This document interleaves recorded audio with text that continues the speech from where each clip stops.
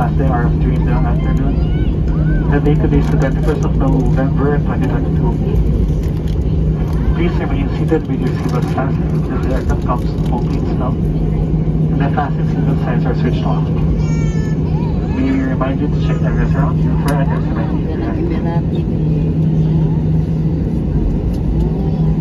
For passengers who need assistance, please the plane land. cabin crew and ground staff will be happy to assist you.